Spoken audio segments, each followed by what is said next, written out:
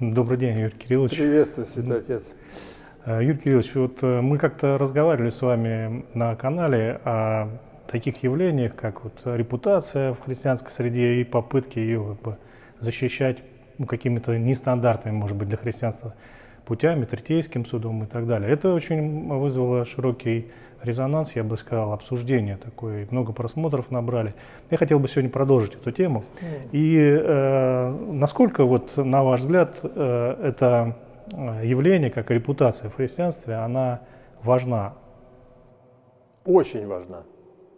Очень важна. Вот мы сейчас, например, в христианство прикасаемся, ну кто всерьез, а мы прикасаемся к христианству как раз через фигуры таких высоких репутаций, которые остались в сознании людей, о которых написаны книги, о которых э, сделаны фильмы.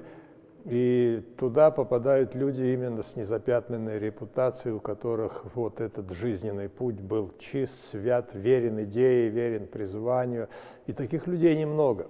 Это я говорю о масштабах, скажем так, больших, эпохальных.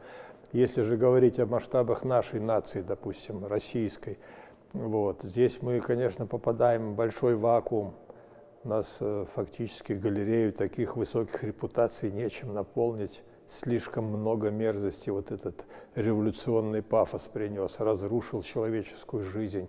Он разрушил ценности человеческие, он перевернул их вверх дном. На первые позиции вышли люди криминальными убеждениями и криминального поведения. И мы сегодня даже не можем от этого освободиться. Ну вот э, в этой связи э, получается, что э, репутации управляют репутацией люди, э, которые в иерархической э, такой среде, ну, структуре э, стоят высоко. И вот э, мы видим явление, когда э, руководитель какого-нибудь там союза, условно говоря, вот кого-то провожает не с добром и вслед как бы по самому драгоценному как мы поняли, ударяют да, по репутации. И у нас нет как бы, вариантов никаких э, отстоять свою репутацию. Куда апеллировать? Ну, вы уже теперь в конкретную переводите плоскость, вот этот вопрос, на самом деле важнейший, действительно. Надо сказать, что наша практика вот в Советском Союзе и в нынешней России, это практика извращенная.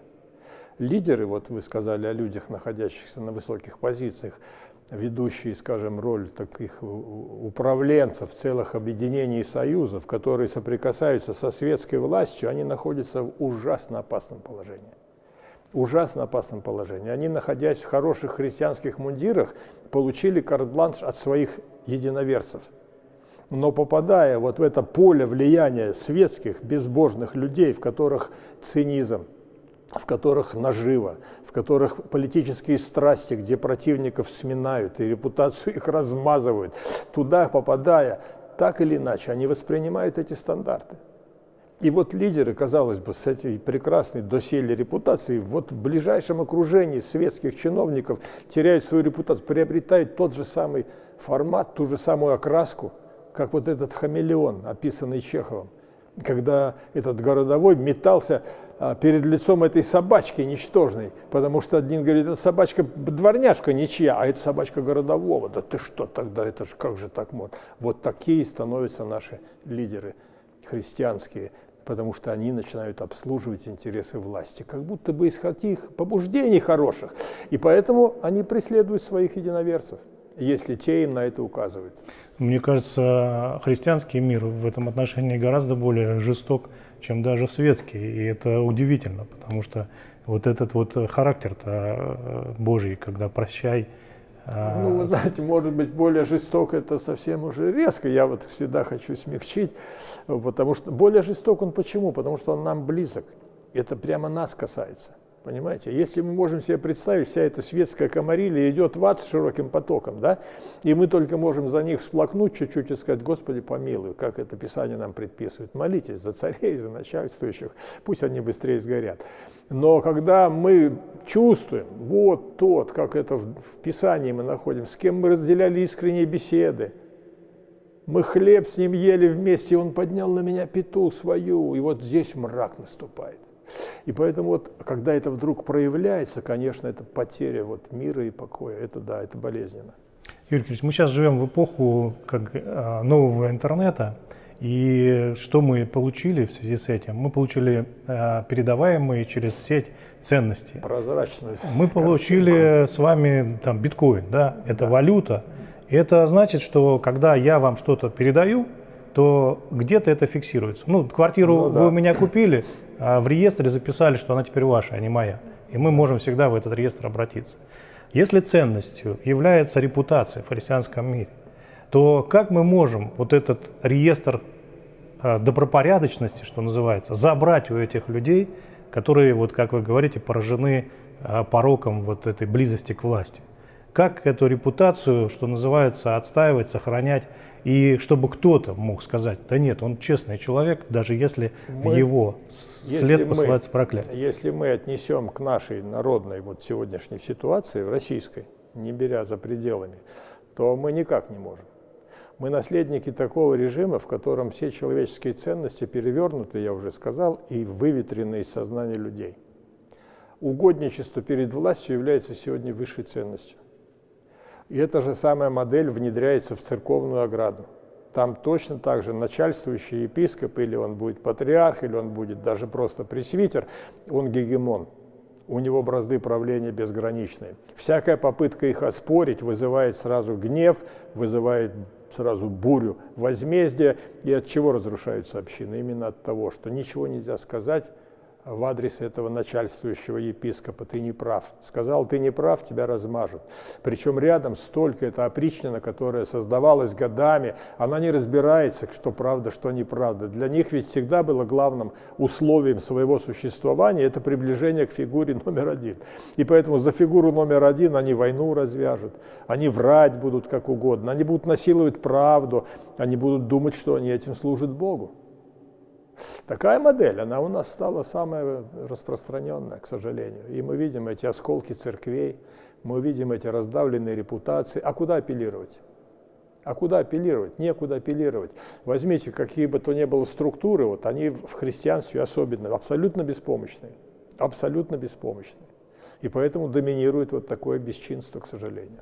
Ну, знаете, э, в миру придумали э, такое понятие, как третейство. Третейский арбитр. Суд третейский суд, а, арбитраж. По большому счету, нет ли среди людей, может быть, сейчас уже там активно не служащих, на пенсии находящихся, авторитетных людей, к которым можно было бы обратиться, даже если это, ну, условно говоря, сейчас вот а, лютеран, например, и старокатоликов касается, а мы к баптисту э, Сивку обратимся, Юрий Кириллович, разбери наше дело. Вот э, такую традицию э, не ввести ли бы нам Здесь э, мир, мир к этому пришел, и не, не так, скажем, успешно это действует э, традиция, но я считаю, что она очень очевидно полезная и необходимая. В нашем христианском мире у нас нет такого условия, чтобы она стала работать. Закон даже есть. Закон есть, да, но это в законе он не действует. Мы видим, как разрушаются структуры, как разрушаются коллективы, как разрушаются семьи, и нет у них никакого авторитета, перед которым они готовы смириться редкое, редкое явление, когда, например, э, конфликтующая семейная супружеская пара обратится к такому арбитру, уважаемому, когда и муж, и жена откроют свое состояние и честно признается в своих ошибках, их своих намерениях и желаниях, и тогда она послушает этого служителя и скажет, хорошо, мы так будем исполнять. И он, и она, и вместе, они преодолеют. Но в нашей вот Э, церковной практики, хоть лютеран возьмите, сколько их сегодня лютеранских группировок? Ну, 5-7. Да, а может 50. Мы просто даже не знаем. По ЦРУ. Мы просто даже не знаем. Например, этот мир прозрачный обнаружил этих старокатоликов, о которых я никогда не слыхал. Ну, католики и католики. А старокатолики, а там лютеране, это все изгнанники, которые протягивают руку друг другу, чтобы как-то поддержать свою уникальную, в сущности, уже закрытость потерю всякого авторитета. Папа Римский может быть кому-нибудь авторитетом для католического мира, но посмотрите, как мы православные изгаляемся, чтобы унизить католицизм, чтобы его представить каким-то порочным, Также я не знаю католиков, как они относятся к православному, но я вижу, что Папа Римский, начиная наверное, от Павла Иоанна VI, который протягивал руку к православию, устанавливал контакты с православием, открывал сердце лютеранам и в конце концов с некоторыми восстановил мир. Но наш это до сих пор только агрессивная неприязнь. И мы унаследовали вот в нашем протестантском христианстве российском взять хоть баптизм, хоть пятидесятничество, хоть современное э, это движение э, такое харизматическое, многообразное, расколы за расколом. Раскол за расколом. Поставьте какого-нибудь авторитетного, чтобы две расколовшиеся группировки могли, признавая его авторитет, сказать, давай, рассуди нас, мы тут не, не понимаем. Нет такого авторитета. Люди попадают в какое-то страшное обольщение, когда в своем порыве эгоистическом распинают историю ближних своих отцов распинают, распинают современных существующих лидеров и, и пошли все ломать. Пример, вот, который я сейчас узнал, это вообще боль такая, когда раскололи церковь в Калуге, где брат Альберт почти 30 лет творил служение, имел успех, имел признание. И всего лишь навсего он посмел сказать честно правду в глаза начальствующему епископу. Тот вместо сказать спасибо, брат, это правда, я испытываю, потому что я нахожусь в такой, ну это минное поле, ходить в кабинеты власти, это, это же опасно, страшно. Спасибо, что ты меня, хотя вместо этого они его задушили, они лишили его мира, они его клеветали и разрушили общину. Юрий Георгиевич, не происходит ли это потому, что вот эта вот э, узость мышления от того, что не понимают, в каком контексте существует сегодня христианство? Если бы христианство понимало, что объединяясь между собой, не враждуя, они получают преимущество, ну, например, там в Тюмени мы сейчас были, там э, прекрасно действует ну, альянсное отношение между христианскими э, конфессиями различными. И они э, проводят праздники вместе, э, выставляют какие-то даже условия власти, и власть идет на это.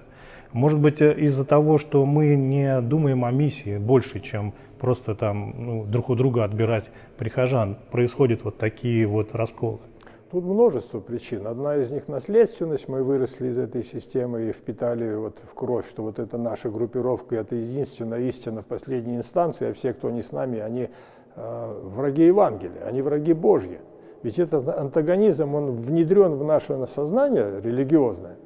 И религиозное сознание, оно чрезвычайно агрессивное, оно, оно ни, никаким миротворческим изменениям не поддается.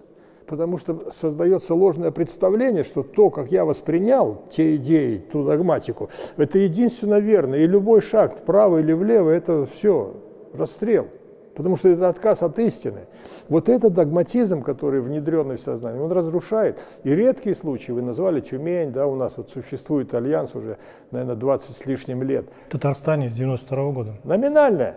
Понимаете, двинуть по-настоящему сознание наших верующих людей, хоть лютеран, хоть баптистов, хоть пятидесятников, что идеи Христа, этой идеи проповедовать Евангелие. Как Павел говорит, да некоторые проповедуют, чтобы увеличить тяжесть уст моих, а я этому рад. Почему? Потому что имя Христа провозглашается.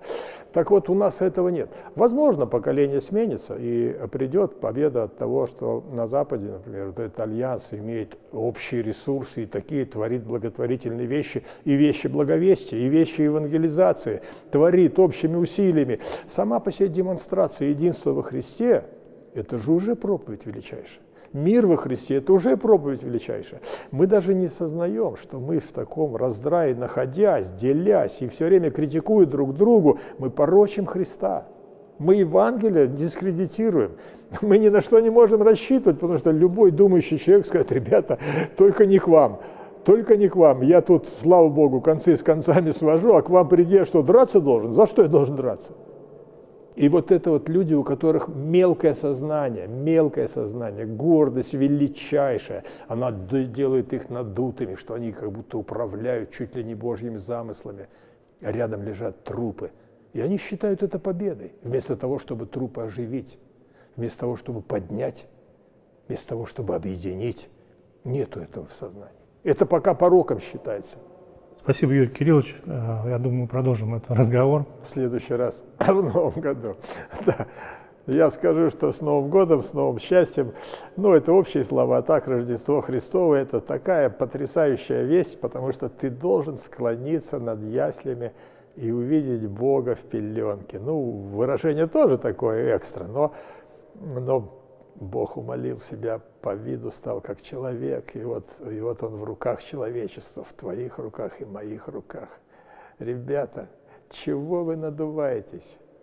Какие там у вас горделивые замыслы? Посмотри на Христа, Рождество Его, и склонись там рядышком и скажи, Господи, помилуй, помилуй, я давлю то, что Ты создал. Я распинаю Тебя снова. Ой, помилуй, Господь.